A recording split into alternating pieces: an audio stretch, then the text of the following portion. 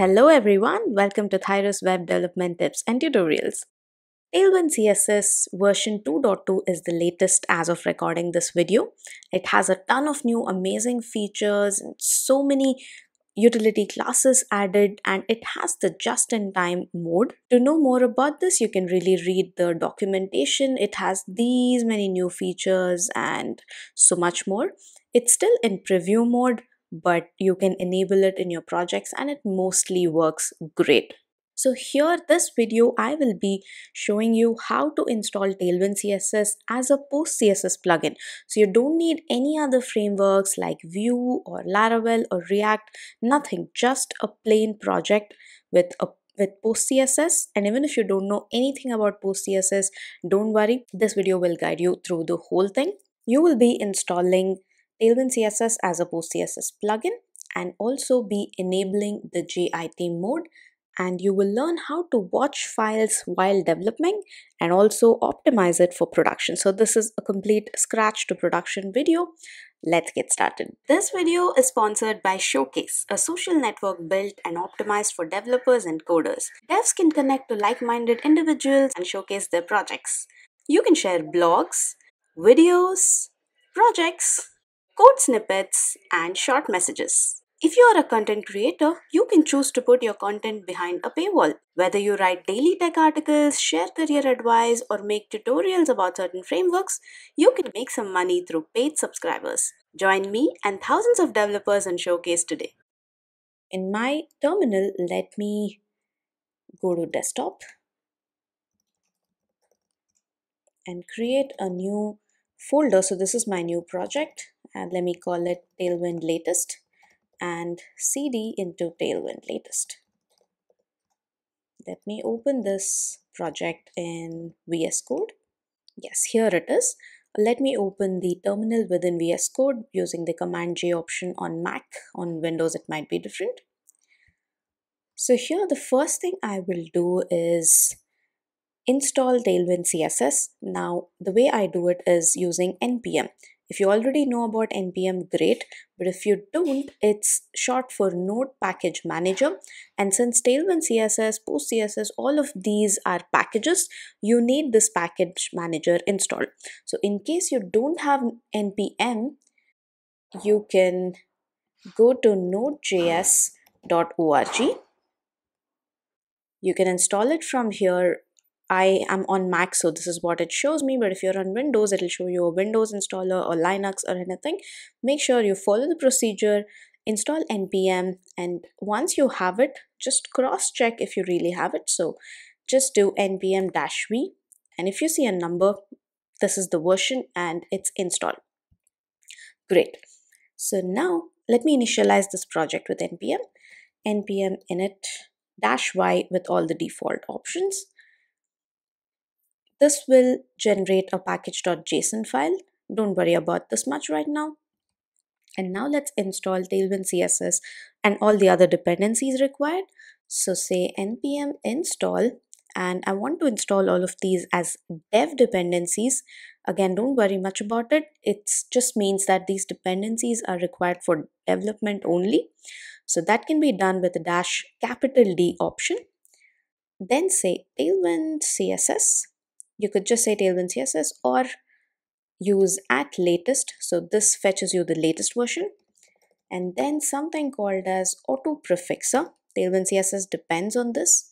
So auto prefixer latest and then post css dash cli the latest version as well. This will take a few minutes once this is done, you should be able to see that these three that we just installed have been added as dev dependencies. You should also see a node modules folder. Great. Now that we have this, let's create our index.html. So create a new folder. You can either call it public, layouts, or whatever you wish. Within this, let me create my index.html file. And let me just do some basic stuff here add a h1 tag say hello tailwind css let me add the classes later now let's link this to a style sheet let's call it styles.css. This is not created yet. So let's create it here. Now we will not be editing this file on our own. The styles here will be generated by Tailwind CSS. So let me close this up right now. And here in our root folder, let's create a source style sheet. Okay, so if you want to add some custom CSS, you will need this. Let's call it tailwind.css. And here you need to add some tailwind directives, tailwind base, add tailwind components, and at tailwind utilities. You can read more about this in the documentation again. I'm not going to go into details because I want to rush into installation and setting it up. So once this is done, you can close this as well.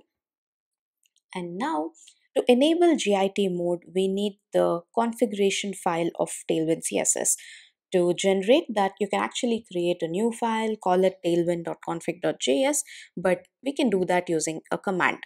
That is npx tailwind CSS init. So when you do that, it generates a config file for you with all the default options necessary. But here, since we are installing Tailwind as a PostCSS plugin, we also need to generate the PostCSS config file. So we can do that in the same command with just a dash p option additionally. So when you do this, you get both the config files generated at once. Let me open this post CSS config file. Right now, we're not going to edit this. It's using Tailwind CSS and Autoprefixer as the plugins. So let's close this also. Let me open tailwind.config.js.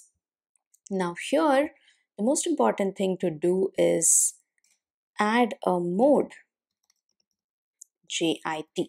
Now this is what will help you enable the JIT mode. Since it's in preview, it's not yet added in the core of Tailwind, but in the version 3 plus, they might add it into the core. So this will be the default mode once it's done.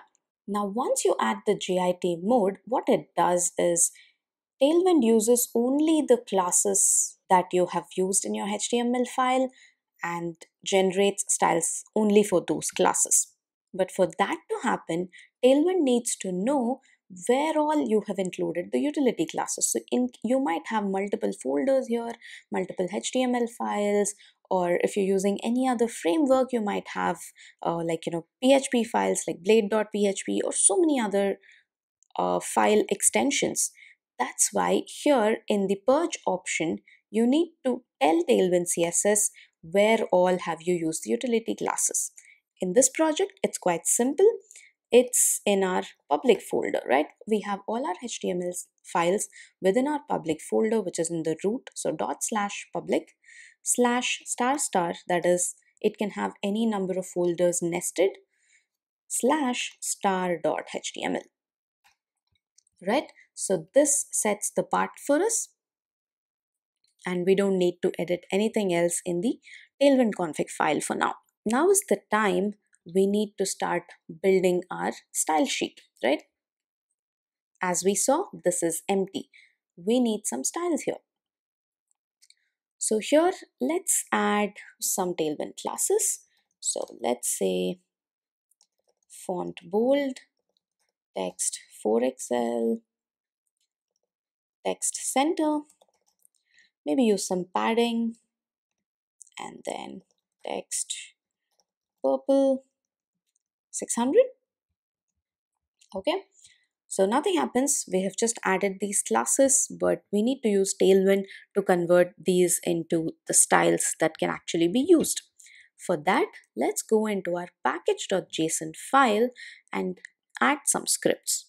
The first one would be a build script and the second one would be a production script so prod right so within the build script I'm going to say use post CSS and build the source file tailwind.css, output it to the public directory styles.css.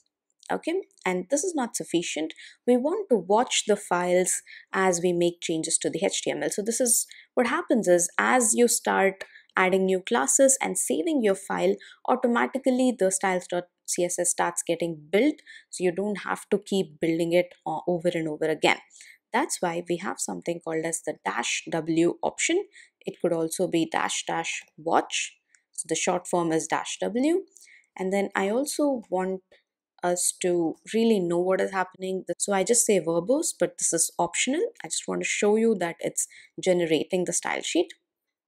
And then sometimes this doesn't work, so you might want to add a tailwind mode. Sorry, tailwind mode equals watch. So once you add this, for sure, it's going to watch your files and generate styles for you on the go. And now in production, let's add a node env equals production. So that's just an environment variable that we are setting saying that it's production. All of this will be the same. These uh, post CSS until styles.css copy, sorry, copy and paste this and this will be our prod script. Okay, if none of this is making sense for you, just don't worry. Copy this and it should really work for you. Okay, now let's just open our styles.css in another tab here. Close everything else and let's see what happens. I will say npm run build. So here it shows you a warning that you have enabled JIT which is currently in preview and it says it finished Tailwind CSS in 642 milliseconds and yes we do have some styles. Let's see what we have here. Right, so we have all the base styles that's required. So uh, Tailwind adds a set of a lot of set of classes to your plain project you can check you can search in the documentation for something called as pre-flight so you will understand what that is. So all that comes until here and now we have all these classes right here with their styles padding text center and so on. So suppose i change this purple to pink and save it you will see some lines here. It says processing finished and again waiting for file changes. And of course we have our pink styles also added. Yes, you will notice that the purple has not been removed. That's because just in case you plan to change it back to purple, it should not take a few extra seconds for Tailwind to build that or extra milliseconds maybe. But if you really want all of this to go, you can stop the script and then build again. So once you do that, purple is gone okay that's how it happens. So whenever you keep adding any new classes here this will automatically update. So this is all you need for developing it. Let's also open this in live server and make sure that it's working. So this opens in the browser. Yes we have this uh, text 4xl and text pink and in the center. So obviously tailwind css has been installed now, actually, as such, the styles.css is very small. It's probably just about 14 or 17 KB, not even that much, I believe.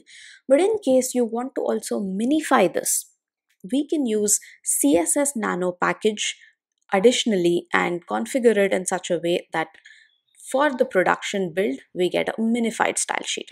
How do we do that? Let me stop this currently and install npm install again with the dash D option, CSS Nano. Once this is done, open up your post CSS config.js and here you can add CSS Nano additionally. Okay, so what this does is, unfortunately, if you just add a line like this, even during development, your uh, style sheet will be minified if that's okay for you then you know it's not a problem. But sometimes you might want to actually look into your style sheet in case you want to inspect something and it will be very hard if it's minified right? So that's why in post css there's an option to use uh, you know a pass of pass an arrow function here. Even i don't know much about this but i just know that something like this works. So you just pass a context here and use a function like this Okay, and here you can use that context. Check if context.env equals production. So only during production, if this is true, then pass this empty uh, object. Else, sorry, else false. Okay, so this is using the ternary operator. And this should work. Let's see. Now, instead of saying npm run build, we say npm run prod that runs our production script. Let's hit enter. And there we go. The styles, the style sheet has been minified. Let's again verify if this is working. So go back to the browser, refresh if required, and yes, it is working. You can view page source, and go to styles. Yes, we have the minified version. Great, so this is how you install Tailwind CSS, enable JIT mode and minify your CSS for production, optimize it. But this was quite a long process. It took us almost 8 to 10 minutes to do something like this and if you're and you might run into multiple issues which is why i have a repository ready for you on github this link is in the description below so this is a boilerplate for what we did just now. Now, what you need to do is simply clone this repository and just say npm install and the same set of files that you have here, everything exactly as it is will be in your project. Okay, it just takes probably a minute to do that. So simply use this project as a starting point if you want Tailwind CSS latest version as a post CSS plugin. Alright, do share it ahead if you found this useful. Thank you for watching. Hit a like and share this video ahead. If you enjoyed watching this, don't forget to subscribe below and turn on the notifications so you won't miss a single video from Thirus.